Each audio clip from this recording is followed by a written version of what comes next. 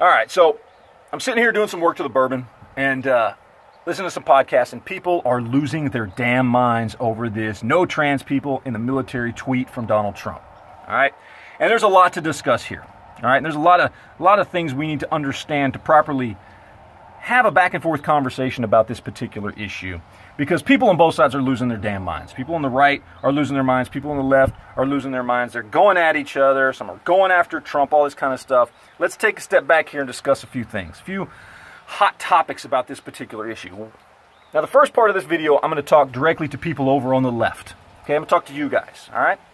One thing I want you guys to understand is that Donald Trump is the most pro LGBTQ community president we've ever had. Period. Barack Obama came into office saying he was against gay marriage for traditional marriage. Donald Trump has been for gay marriage for years.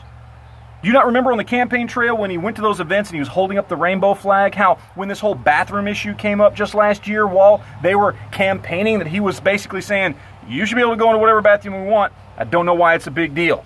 Okay? This is ridiculous to think he, he hates gay people. He's, he's got an anti gay agenda, an anti trans agenda. No, he doesn't.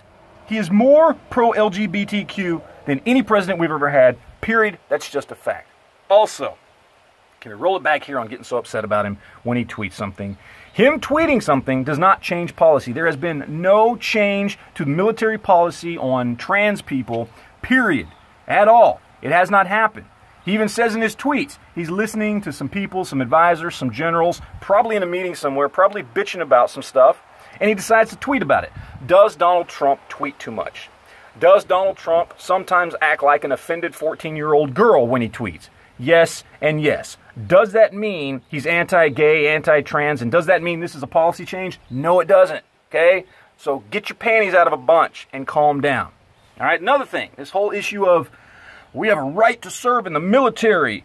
No, you don't, Buttercup you don't have a right. The military, in all its forms, in all its branches, throughout the history of our country, has always been able to deny people joining its ranks if they don't think you will live up to the standards they have set, period. Okay, it's just like any other job. Okay, if you don't qualify for that job, you don't get the job. There's no right to serve in the military in this country, period. Stop with that argument. Also, I am very much a you do you kind of guy. I don't care what you do. I don't care who you are, who you marry. I don't care what you want to cut off yourself or add on to yourself or whatever. I don't care. I cannot personally imagine what it's got to feel like to not feel comfortable in your own skin, to feel like you are a different gender than you should be. That's got to feel horrible. Okay? But don't make the military, i.e., my tax dollars, pay for your gender reassignment surgery. I wouldn't ask you to pay for the stuff I care about. Okay? Don't make me pay for that. That's a big one right there. That's a big reason why a lot of people have issue with transgender people going into the military because then they get out of the military and then they use tax dollars through whatever forms of insurance they have afterwards that the military is paying for and they're getting this surgery done. And sometimes it's even happening while they're still in the military, okay? And we're the ones paying for it. And that's a big reason why some people have a problem with this. If you want to do whatever it is you're going to do, that's fine. Don't ask me to pay for it. Now, let's talk to all of you over there on the right, okay?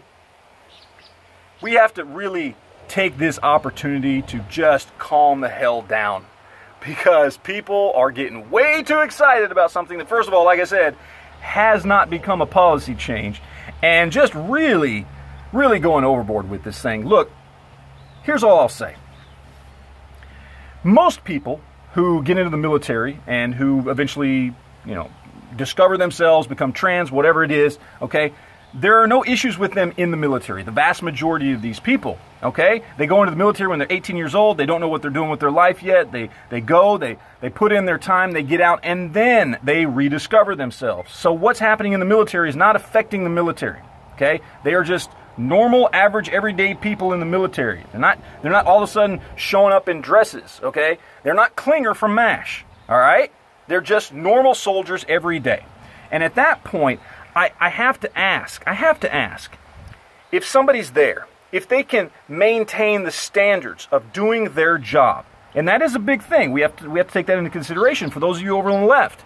If you think you should be able to enter the military and then not live up to their standards, guess what? You need to get the fuck out.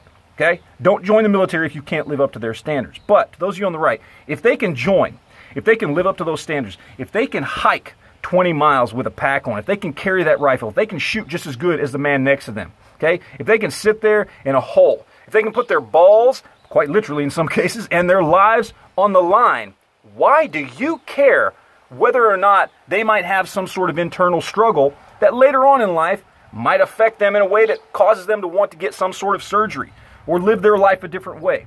If that person is there with you through hell and they're doing everything you're doing, what do you care? We all have our problems to deal with. Every one of us has issues. All right? But if we can do our damn jobs, especially in the military, if you can do your damn job, why do you guys on the right care? Sit down, calm down, say thank you for your service, and walk away.